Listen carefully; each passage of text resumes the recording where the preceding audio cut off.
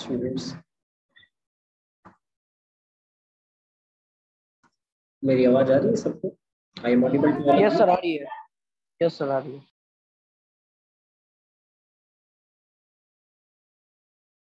Is i am audible to all of you?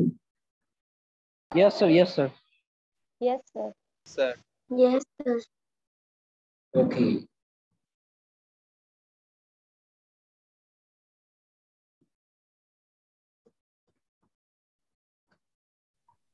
Sir एक question था अ, नहीं बना था वो तो होमवर्क से। हाँ thirty seven number S C Verma thirty seven S C Verma का था ना?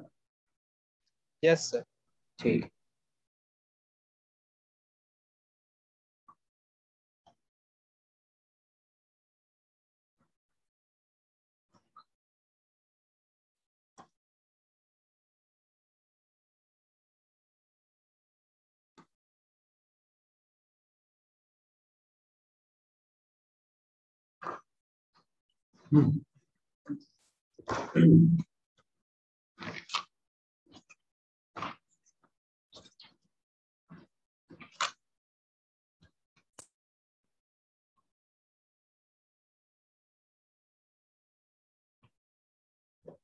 देखिए।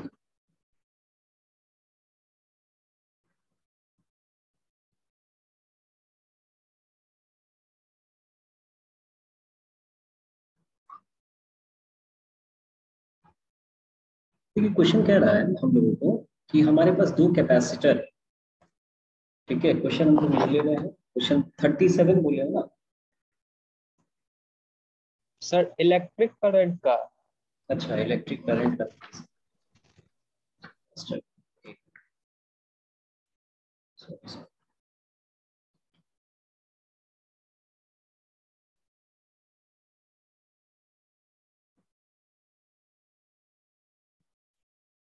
ठीक तो है जी क्वेश्चन नंबर थर्टी सेवन देखो इसमें क्या किया है ना? जो स्टैंडर्ड होता है कि पॉजिटिव टर्मिनल से जोड़ दिया है अ, हमारा।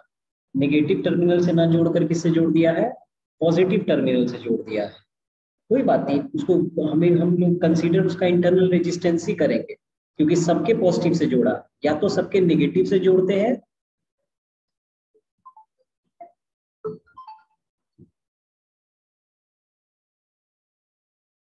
या तो सबके नेगेटिव से जोड़ते हैं, या तो सबके पॉजिटिव से जोड़ते हैं। ठीक है?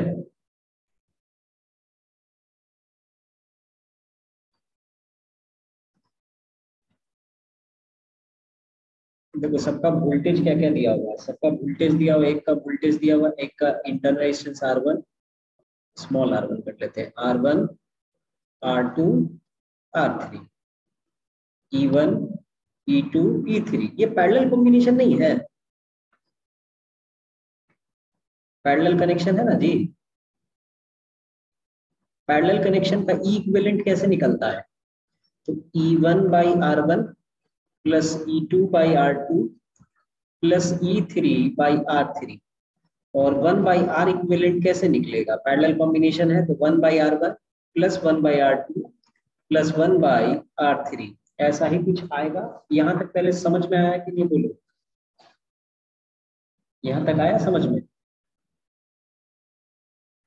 सर सबकी सबकी वैल्यू दी हुई है वैल्यू रख दो।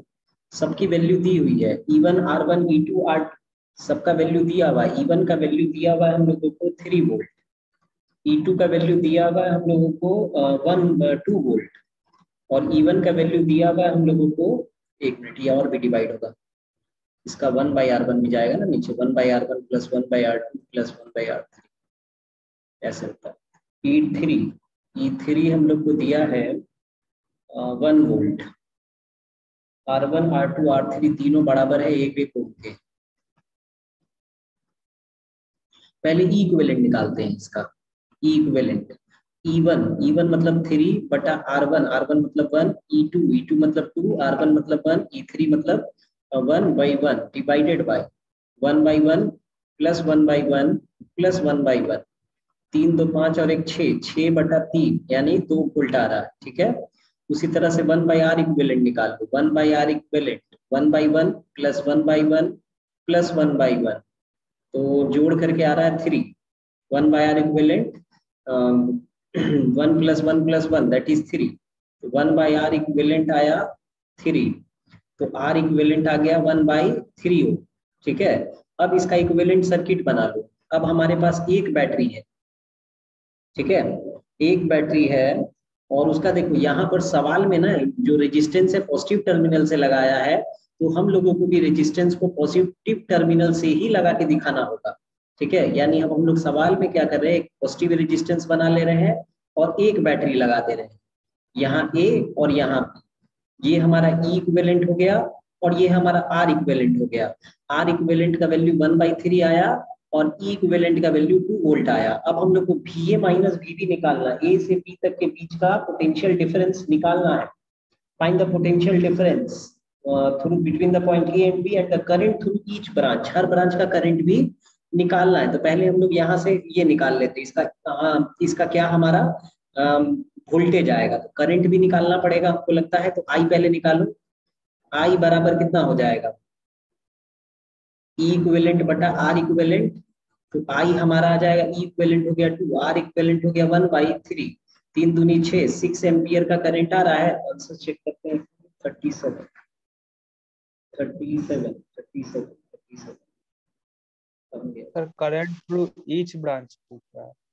अच्छा ये तो बैटरी का करंट आया। चलो ना, छह एम्पियर का करंट आ गया, लेकिन इसमें छह एम्पियर का आ गया थ्री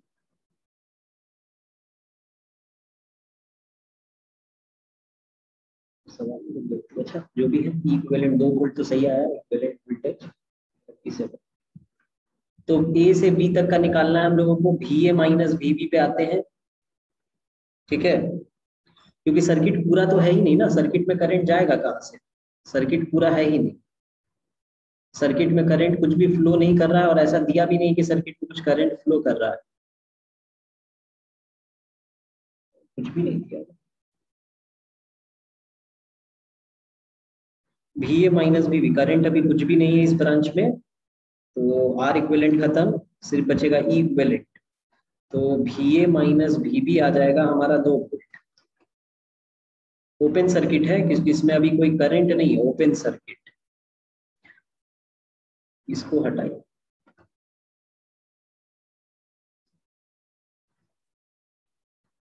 ये हमारा ओपन सर्किट है तो इसमें करंट कुछ भी अभी बह नहीं रहा है, ना कोई करंट दिया गया क्वेश्चन में तो वी ए माइनस बी भी हो जाएगा इक्वलेंट दो वोल्ट के बराबर। ये तो आ गया दो volt thirty seven thirty seven I one आ रहा है वन एम्पियर आई टू आ रहा है ज़ीरो एम्पियर आई थ्री आ रहा है माइनस वन एम्पियर ठीक है, देखते हैं। तो वी ए माइनस वी भी निकल गया दो वोल्ट का। ठीक है? अब देखो बारी बारी से सबका हम लोग करंट कैसे निकालेंगे? मान लो कि हर ब्रांच में कुछ ना कुछ करंट बह रहा होगा, मानते हैं अभी ऐसा। देखो, हमारा तो यही है ना आर इक्विवेलेंट इक्विवेलेंट ए से बी तक है, इसमें करंट तो अभी कुछ भी नहीं है, और ई e हमारा दो वोल्ट था तो बस ई e होगा आई इंटू आर तो होगा ही नहीं तो दो वोल्ट आया। अब देखो, इस ब्रांच में हम लोग करंट का नाम दे देते हैं कुछ आई वन इस ब्रांच में करंट का नाम दे देते हैं आई टू और इस ब्रांच में करंट का नाम दे देते हैं आई थ्री आई वन इसमें आई टू और इसमें आई थ्री और सबका नाम कुछ दे देते हैं। ये पहला वाला ब्रांच ये दूसरा वाला ब्रांच और ये तीसरा वाला ब्रांच ब्रांच वन में आते हैं।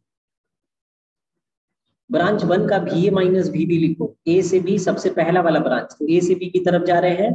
करंट इधर आ रहा है तो माइनस में हो जाएगा आई वन आर वन और प्लस में हो जाएगा ई e वन ऐसा होगा कि नहीं होगा बोलो। ब्रांच वन के लिए। Yes sir yes V A minus V B का वैल्यू तो हम लोग दो वोल्ट निकाल लिए पहले ही.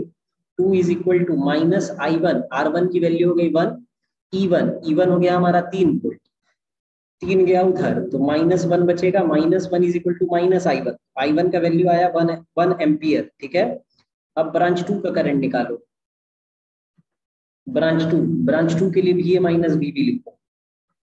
एस सी वर्मा के सवाल थोड़े अच्छे दिमाग लगाने वाले होते हैं। तो B A minus B B लिखो ब्रांच टू के लिए।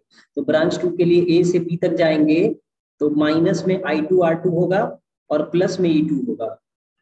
B A minus B B दो वोल्ट है माइनस में आई टू आर टू का वैल्यू हमारा वन हो गया आर वन वन हो गया और ई e टू हमारा टू वोल्ट हो गया। दो में से दो गया ज़ीरो आई टू का वैल्यू ज़ीरो आ रहा है। यानी सेकेंड वाले ब्रांच में ज़ीरो करेंट है।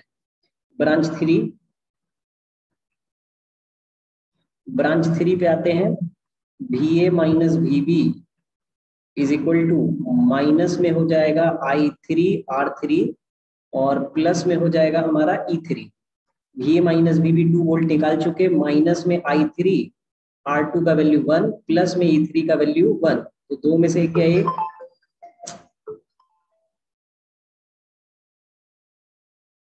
बच्चे को परेशान किए रहता है।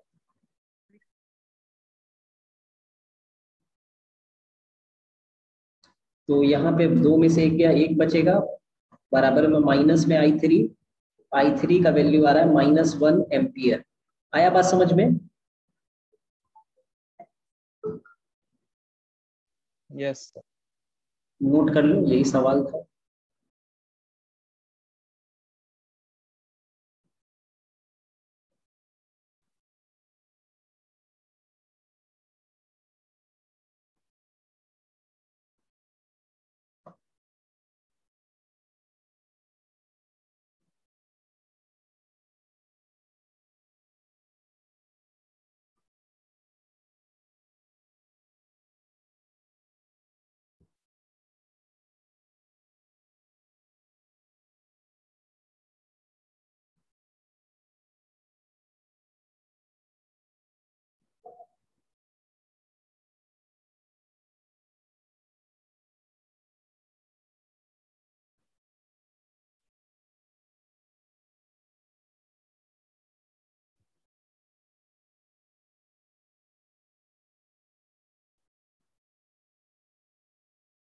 तेज़ी से नोट कर लो question number thirty seven thirty seven S C Verma का है ये।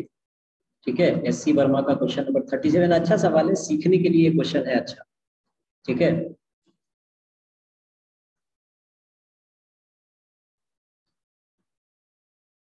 चलो, हम अपना सवाल देते हैं जो तुम्हारे बोर्ड एग्ज़ाम में रह सकता है कॉम्पिटेटिव एग्ज़ाम्स में भी रह सकता है और अच्छी अच्छी जगह एग्ज़ाम्स में पूछा भी गया है।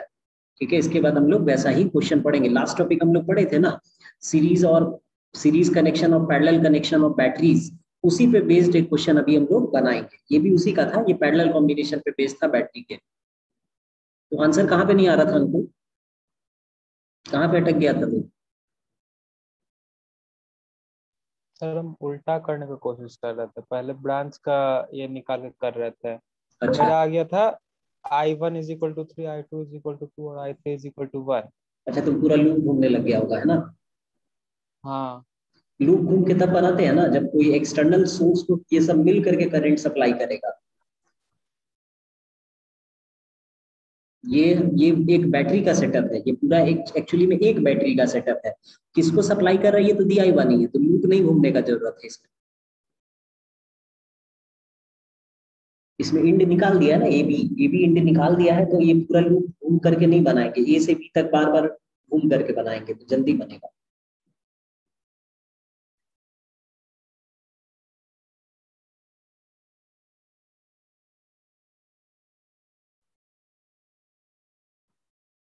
हो जाएगा तो बताओगे सर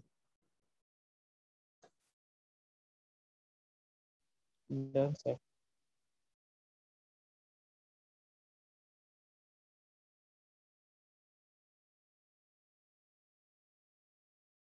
चलिए सब लोगों का हो गया कोई ऐसा बच्चा जो अभी भी लिख रहा है? कोई ऐसा बच्चा जो अभी भी लिख रहा है? चलिए कोई नहीं आगे बढ़ते हैं अगले क्वेश्चन पे आते हैं। अब देखोगे अगला क्वेश्चन भी बहुत अच्छा क्वेश्चन है, ठीक है? और थोड़ा ध्यान लगा करके देखोगे तो सीख पाओगे, ठीक है? और स्कूल एग्ज़ाम में रह सकता है, यानी आपके बोर्ड एग्ज़ाम के लिए इंपॉर्टेंट क्वेश्चन की कैटेगरी में आएगा ये। समझ रहे मेरी बात? आपके बोर्ड एग्ज़ाम के लिए इंपॉर्टेंट कैटेगरी में रह सकता है ये क्वेश्चन ठीक है? क्वेश्चन देखिए क्या कह रहा है। क्वेश्चन कह रहा है two cell of EMF 1 volt, comma 2 volt and internal resistance. Internal resistance 2 ohm and 1 ohm uh, respectively बाकी लोग एससी वर्मा बना के भेजा भी नहीं है हम लोगों को। सोया हुआ को पता भी नहीं होगा कि एस वर्मा बनाना है। वो तो तुम क्वेश्चन पूछे हो तो पता चला होगा अच्छा सर, एस वर्मा में होमवर्क दिए थे। और इतना बेशरम बच्चा लोग बनाएगा भी नहीं, इतना जानने के बाद भी। कुछ कुछ बच्चा लोग बहुत अच्छा है, और बाकी कुछ कुछ इतना इतना लेजी है, इतना लेजी है, कुछ कहने का नहीं। इन पहला नंबर, सीरीज़। और दूसरा नंबर है parallel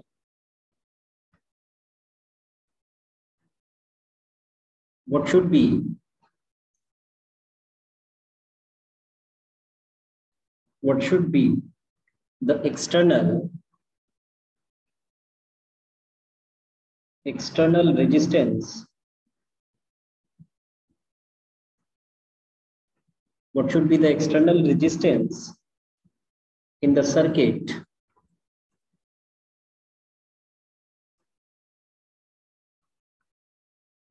circuit so that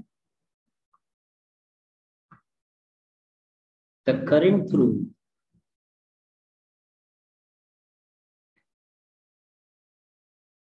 the current through the resistance be the same in the two cases in which case more heat is generated. ये भी एक क्वेश्चन डाल दिया additional more heat is generated. Question काफ़ी अच्छा क्वेश्चन है, ठीक है? One of the best problem अगर कोई कह सके कि पूछा जा रहा है, ये तो पूछा जा रहा है सेल के कॉम्बिनेशन से। देखो, हमारे पास कह रहा है कि दो सेल है, एक का वोल्टेज एक वोल्ट है, एक का दो वोल्ट है। और दोनों का इंटरनल रेजिस्टेंस हमको पता है दो ओम और एक ओम ठीक है? उसके बाद कह रहे हैं कि उनको सीरीज़ में भी लगा रहे हैं पैरेलल में भी लगा रहे हैं। और what should be the external resistance series में भी लगाए कुछ एक्सटर्नल रेजिस्टेंस के साथ पैरेलल में भी लगाए कुछ एक्सटर्नल रेजिस्टेंस के साथ। In the circuit so that the current through the resistance be the same in the two cases external resistance r मान लेते कुछ लगाए होंगे सीरीज़ के साथ भी और पैरेलल के साथ भी। और इस तरह से एक्सटर्नल रेजिस्टेंस लगाना है, ताकि करंट दोनों में क्या रहे सेम रहे। तो उस एक्सटर्नल रेजिस्टेंस की वैल्यू क्या होगी? और फिर क्वेश्चन में कह रहा है कि किस केस में बताओ ज़्यादा हीट प्रोड्यूस होगा सीरीज़ वाले केस में कि पैरेलल वाले केस में? तो पहले हम सर्किट में आते हैं सीरीज़ वाले में। तो मान लेते हैं कि कुछ इस तरह से रहा होगा, एक बैटरी एक उसका इंटरनल रेजिस्टेंस और ये सब मिल करके एक्सटर्नल रेजिस्टेंस को करंट सप्लाई कर रहा होगा। कैपिटल आर इसको आर वन इसको आर टू इसको ई e वन इसको ई e टू ये सीरीज़ कनेक्शन हो गया पैरेलल कनेक्शन भी ले लेते हैं। बैटरी उसका अपना रेजिस्टेंस और नेक्स्ट बैटरी उसका अपना रेजिस्टेंस ठीक है? और ये दोनों पैरेलल कॉम्बिनेशन में मिल करके एक एक्सटर्नल रेजिस्टेंस को करंट सप्लाई करेगा। We have E one R one E two R two और ये हो गया कैपिटल आर ठीक है?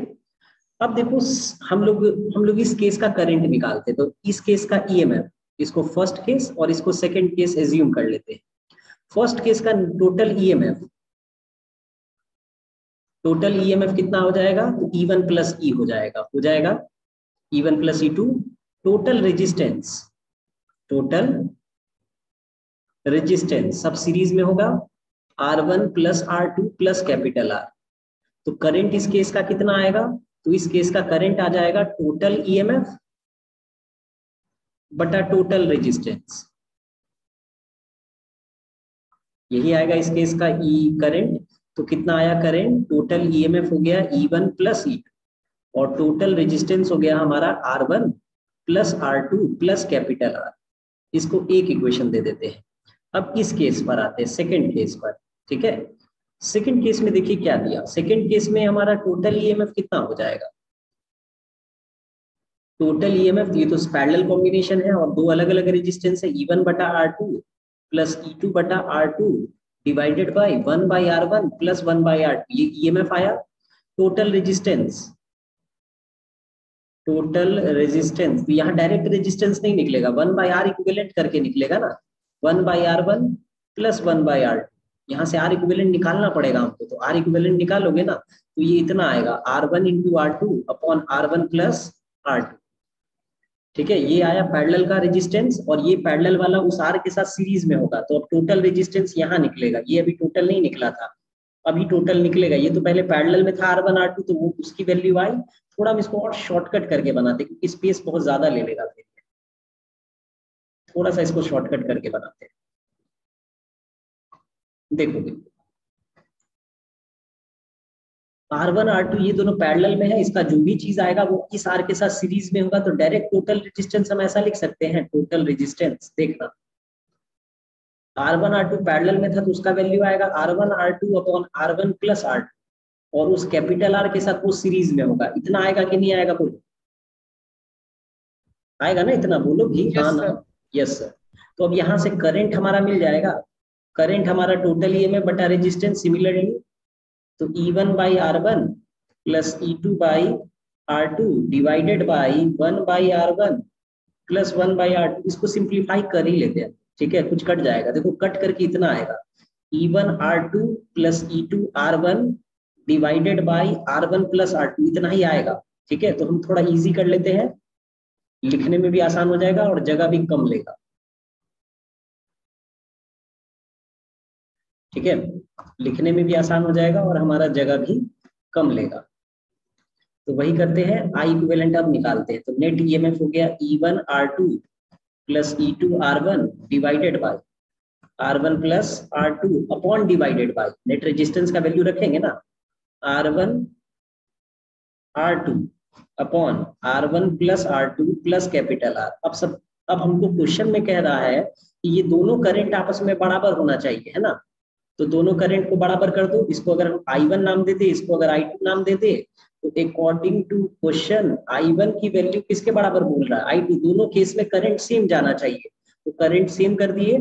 अब वैल्यू डालते हैं। E one plus E two divided by R one plus R two plus capital R is equal to यहाँ पर वैल्यू डालेंगे। ये आ जाएगा E one R two plus E two R one upon थोड़ा सा ध्यान से R one plus R two और ये आ जाएगा, गुना में फिर आ जाएगा हमको लगता है R one plus R two cancel हो जाना चाहिए, है ना? कैंसिल हो जाएगा। अच्छा चलो एक स्टेप बढ़ा के लिख ले divided by R one R two plus R times R one plus R two upon R one plus R two R one plus R two cancel हो गया। क्या बचा? E one plus E two by R one plus R two plus capital R is equal to E one R two plus E two R one upon R one R two plus capital R into R one plus R two सबका value डालो। इसमें सिर्फ़ capital R unknown है E one E one की value कितनी दी हुई है? तो one volt E two two volt तो वन प्लस टू हो गया। One plus two volt divided by R one R two plus one plus capital R is equal to E one E one one हो गया। Are to हमारा कितना हो गया? Are to भी हमारा वन है। ई टू ई टू हमारा टू है और आर वन भी हमारा टू है। Divided by R one R two two into one plus capital R two plus one three upon three plus capital R is equal to एक, दो दो, चार चार और एक पाँच five by two plus three R इसको सॉल्व करके बताओ जी आर कितना आ रहा है। सॉल्व करके आर बताओ कितना आ रहा है। सॉल्व करके बताओ आर कितना आ रहा है।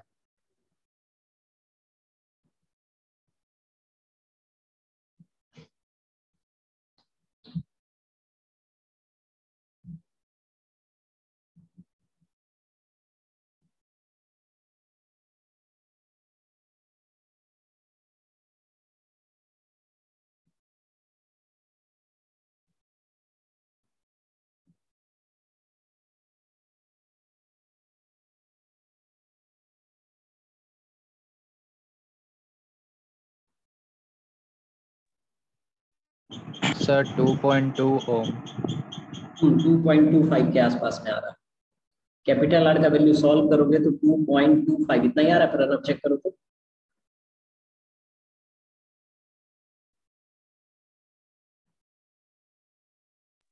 सर आ रहा है। तो ये हमारा आ गया रेजिस्टेंस एक्सटर्नल रेजिस्टेंस अभी हम लोग को इस सवाल का भी आंसर देना है। In which case more heat is generated किस केस में हीट ज़्यादा जनरेट होगा? तो दोनों केस में, दोनों के केस में करंट सेम है। करंट दोनों में सेम बह रहा है। ये क्वेश्चन में दिया हुआ दिया हुआ है ना करंट सेम है। तो करंट इसमें भी आई है करंट इसमें भी आई है। तो हीट का फॉर्मूला होता है करंट सेम है तो करंट वाला फॉर्मूला सोचेंगे। आई स्क्वायर आर टी होता है, जिसका आर ज़्यादा होगा, उसका हीट भी ज़्यादा होगा। यानी हीट जो है directly proportional to R total और टोटल रेजिस्टेंस सीरीज़ में ज़्यादा होगा कि पैरेलल में ज़्यादा होगा, ये बताओ।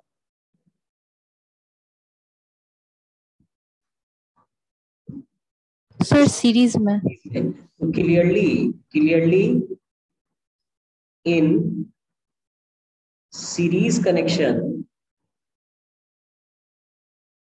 heat liberated will be more क्योंकि करंट सेम है सब में, इसीलिए करंट का फॉर्मूला लिए।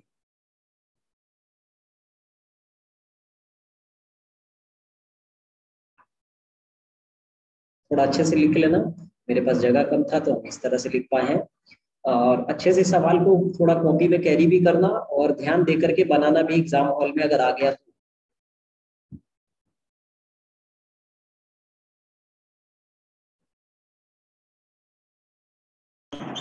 सर इसमें वैल्यू शुरू से दिया हुआ था तो शुरू से पुट क्यों नहीं करते हैं? क्योंकि शुरू से इसलिए नहीं पुट करते हैं ना कि शुरू से पुट करते करते बनाएँगे ना। तो कई बार अभी तो यहाँ वन टू के टर्म में था ना तो इसीलिए थोड़ा आसान लग रहा था पुट करके बनाने में। ठीक है? लेकिन हमको तुमको रिज़ल्ट समझाना था। इसीलिए हम पुट करके नहीं बनाते हैं। हम हमेशा कभी पुट करके जल्दी नहीं बनाते। पुट हमेशा रिलेशन लिखने के बाद करते ताकि आपको समझ में आए कि हाँ ऐसा ऐसा चल रहा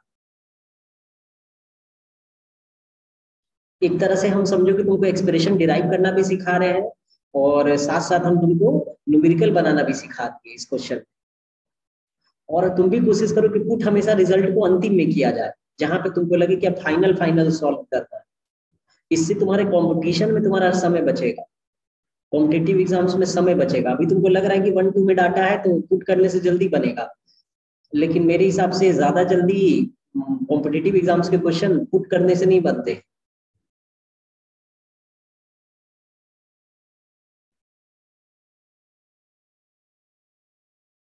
तेज़ी से नोट करो। अच्छा सवाल, ये सब समय लेने वाला सवाल, ये सब सब सवाल बनाने में भी अच्छा खासा टाइम लगता है।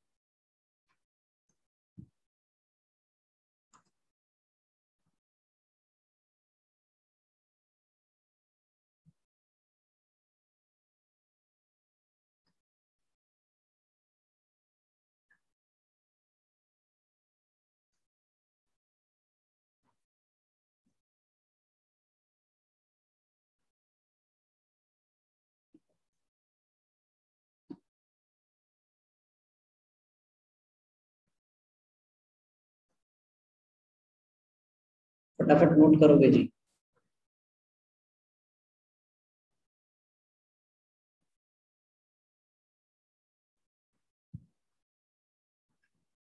आज फिर तुमको कुछ क्वेश्चन देंगे हम लोग ठीक है? अलॉन्ग विद द सॉल्यूशन भी देंगे लेकिन सॉल्यूशन तो आप खुद देखिएगा आप क्वेश्चंस बनाइएगा ठीक है? कुछ क्वेश्चंस देंगे उसको बनाइए। सर या वेरी गुड बस हमारा लास्ट ही आज है हम लोग लास्ट टॉपिक पे रहेंगे। एक मिक्स्ड ग्रुपिंग भी होता है सेल का। मिक्स्ड ग्रुपिंग हम लोग आपको नवंबर के प्रैक्टिस सेशन में सिखाए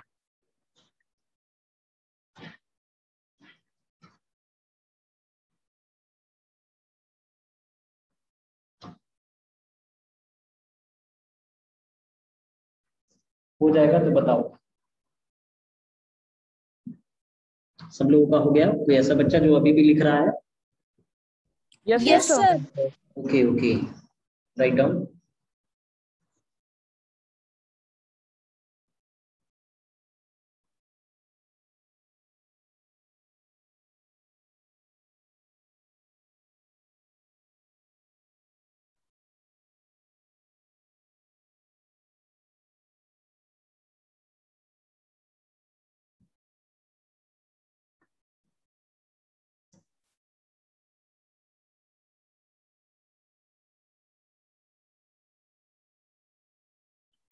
done sir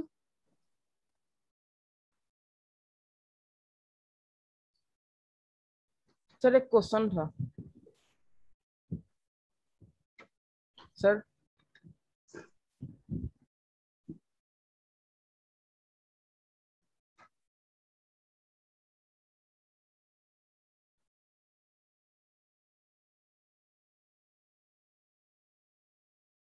सर हाँ जी सर बाहरी नॉलेज का एक क्वेश्चन था। सर डेटा साइंस क्या होता है? डाटा साइंस आगे चल करके बहुत स्कोप है उसमें। स्कोप है इसका मतलब? इसका मतलब होता है कि जैसे तुम्हारा आधार कार्ड बना है ना? यस सर तुम्हारा आधार नंबर डाल करके हम तुम्हारा सारा डेटा निकाल सकते हैं। समझ सकते हो? तुम्हारा डेटा को स्टोर किया होगा ना? तुम्हारा डेटा को स्टोर किया होगा ना? जस्ट लाइक दैट आगे फ्यूचर है डेटा साइंस ही सबसे बड़ा फ्यूचर रहेगा आगे चलकर। Data science AI technology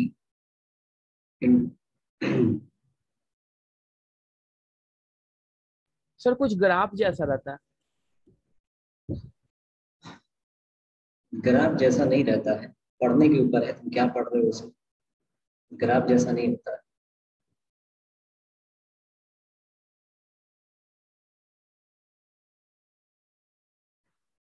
है स्कोप है अच्छा सेक्टर है।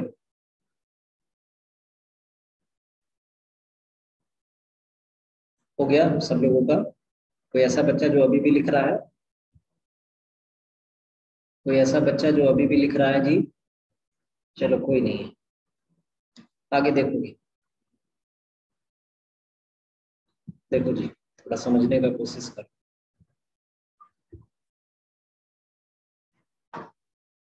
हम्म, देखो अब अभी हम लोग सीखने सीखेंगे आगे how to convert galvanometer into ammeter अभी हम लोग जो टॉपिक पढ़ने जा रहे हैं वो ये है how to convert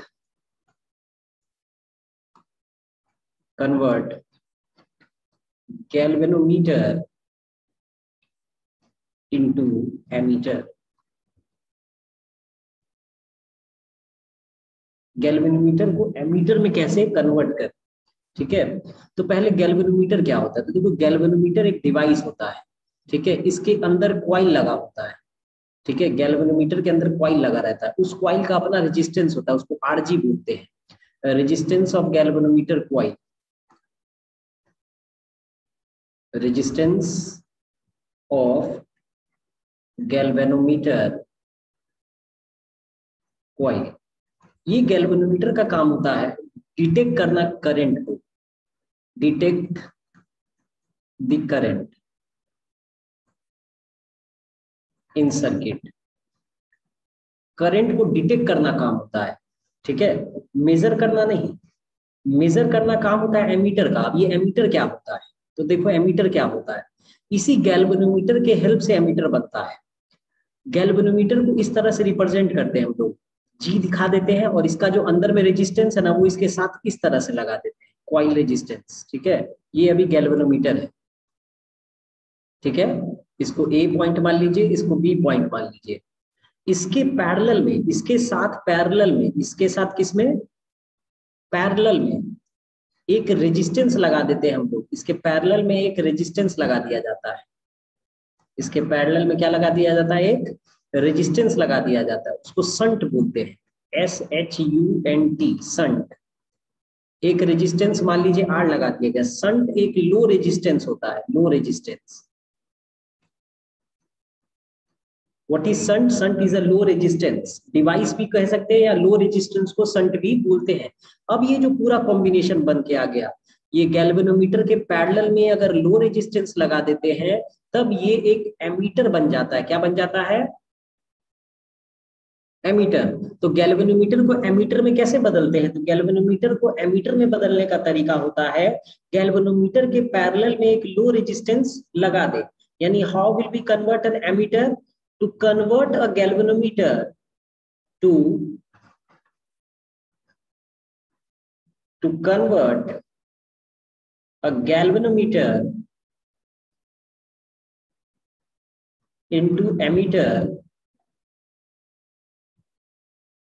we attach attached a low resistance called shunt in parallel